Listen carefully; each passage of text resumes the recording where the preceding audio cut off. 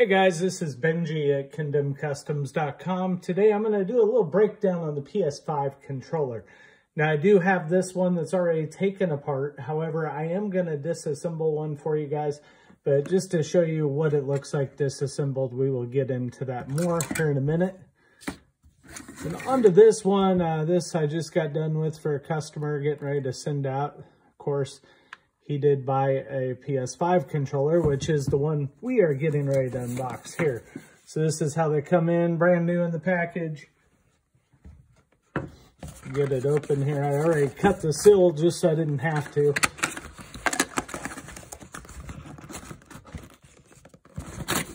We'll try to get all this uh, on camera, this disassembly. I know there's a problem in the past. People said it wasn't all on camera. So excuse the long video. But uh, anyhow, when I did get into this controller, the first thing I noticed is it is a heavy controller. Um, it is pretty much the size of an Xbox One controller, even though it is a PlayStation. I know I'm going to get some hate for saying that. But anyhow, let's get right in. First off, uh, we got your Phillips double zero for the screws. Everybody complains when you don't give them the right size. So it is a Phillips double zero for the screws. Then I got a handy dandy pair of tweezers. Just a little pry bar if needed, probably won't.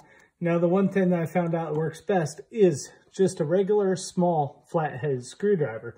Now the reason for this is once you get this, you notice there are absolutely zero screws in this that you see. So you got to get in here. This seems a little difficult, but you actually get in here and get right under this piece. Uh, so once you get under there, it just pops. So then you got to do that to both sides. Like I said, excuse the long video, but we're going to get detailed on this for you guys. This one is kind of a little bigger compared to the last one I did. Um, there it goes. You just got to get that right spot. So there we go. We popped off both sides. So then once you get this, there is some retention clips right here. So once you pry that open just a little bit, you will see them. Um, get right in there and just pop them in with that flat-headed screwdriver again. A lot of flat-headed screwdriver on this. Uh, gotta be careful, you will scratch it up. However, I am gonna be painting this, so for me, that's not a problem. And once you get this, you can just pop it off. But there are two little pieces here that go underneath the trackpad. So you definitely don't want to break that. So you don't want to pry up and snap those off. So anyhow, that is this piece here. Then we'll get on to the rest of it. Now uh, from here, there are two screws. One here, one here. Those are the double zero. However, I'm going to show you where the next two are first. They're going to be underneath the bumpers. So flip it over the back side and you're gonna actually hold the trigger down and just pry open on that bumper. Feels like you're gonna break it. Trust me, you're not. I'm gonna bring in this little cup here to put all the parts. You don't wanna lose anything. Definitely don't wanna lose any screws once you start taking those out. Then you're gonna see there are two more screws here and here. Again, double zero. So we'll hurry and fly through this and get these out of here for you. This is why I like tweezers, just because I have big hands.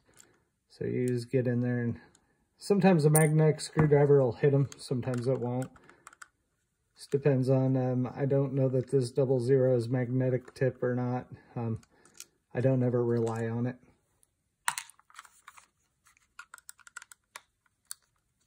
It's a good thing about working on like a white surface or a solid surface. If you do drop them, you can find them.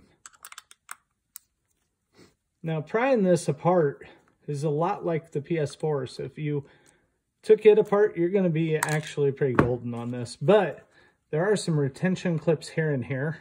So those, what I found easiest is to go ahead and just loosen those from the start.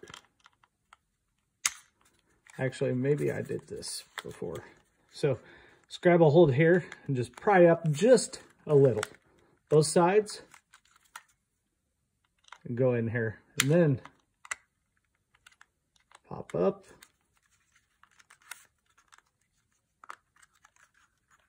Feels like you're going to break it, trust me. Um, if you break it, it's just a clip that you try not to. So I popped them both. You can see there they're loose. Now from here, there are some retention clips in the side like there were before. However, I just pried it off, comes right off. So it's not difficult at all. So that is the back of the shell. So we're going to throw that to the side as well. Now, once we get in here, you get in here to your, you got this left. Got lots of stuff going on here. Um, we're going to pop the battery off first. Um, a lot of guys will say to use some like needle nose pliers. I just personally wiggle them right off. Never had an issue with that. Throw the battery aside. It is a much bigger battery than in the PS4. Um, there is a screw here. So we're going to remove that one first.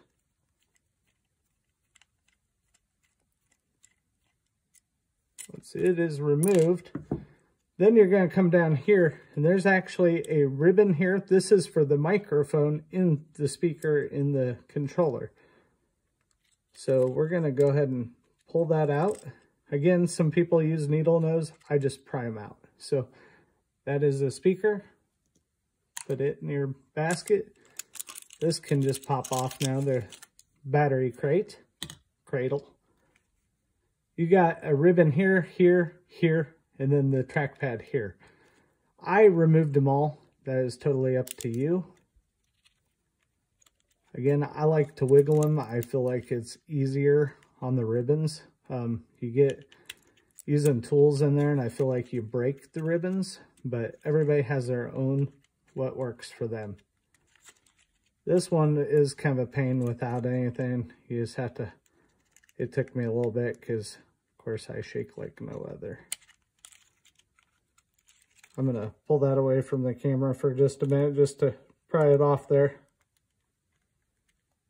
There we go. Trying to do everything on camera for you guys. Um, now there is a screw here, a screw here, so we'll remove those. Again, your double zero. Everything on this controller is a double zero. That's a double zero Phillips for those that don't understand. Don't know what a Phillips is, you probably shouldn't be taking this apart to begin with.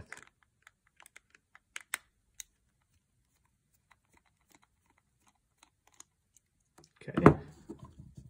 Again, into your handy dandy container. Now, we're almost there. So we're gonna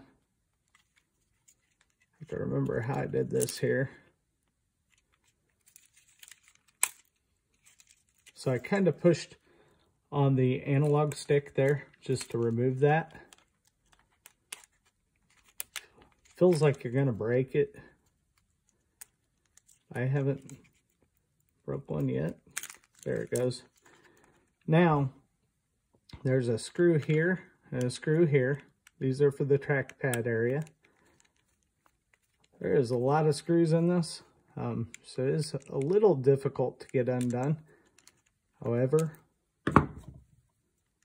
it'll work out. These are a little longer silver screws, but again, the double zero.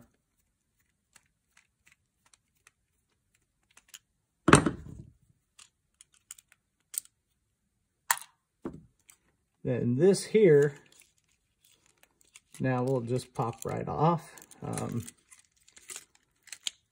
we are almost there. So this piece here now is all apart. This is your main motherboard. Almost looks like the PS4 a little bit. Has your triggers here. Um, those are very interesting, your rumble packs. So Again, the ribbons to make everything work. So I'm to throw that to the side as well. Now, onto this. Of course, these are the same. Remove it. The PlayStation one down here. There is also this little piece here. Just fell off.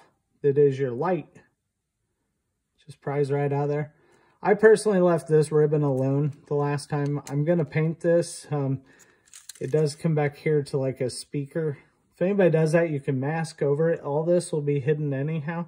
So for those do-it-yourselfers, of course, your PlayStation button. Now, uh, interesting thing I noticed, all these buttons look very similar to the regular ones. Um, and I actually have a set of bullet buttons. Now, I'm going to try them in here and see if it works or not. There's no guarantees there, but we'll see. So I'll let you guys know. Maybe you'll see it in my next video. On this, the trackpad here, I don't know that you need to remove these. However, I did on the last one, so I'm going to again. Um, two simple screws to take out for the trackpad.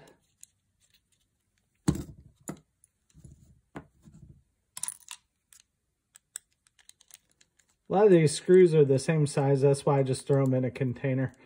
You know, some guys might label them. It's probably the right way to do it, the smarter way to do it. There's your trackpad. Throw it to the side. Now, here's this piece. Again, part of the trackpad. Now, you're pretty much apart. However, you still see this clear piece. This piece here is actually a light. It shows the blue light on the controller when it's powered on. That actually, for those painters, again, this will pop out of here. And uh, it's going to be important if you're painting because, I mean, unless you're masking it off, you don't want to, I don't know, you don't want it in the way, you don't want it covered. So it just kind of pries down and out. No clips really to it, just had those two screws from earlier. So anyhow, that is your disassembly of the PS5 controller. Any questions, definitely hit me up in the comments. I'll let you guys know. Uh, any suggestions for me, let me know. Sorry about the wrinkled mat. I don't do this on a mat usually. It's just better than a black finish for you guys. So hopefully this video turned out well. Hopefully you learned something. Hopefully you uh, order controllers from condemnedcustoms.com. Follow me on Instagram, Twitter, Facebook. Leave all that information down below in the description. So, but thank you all for watching, and I hope you have a wonderful day.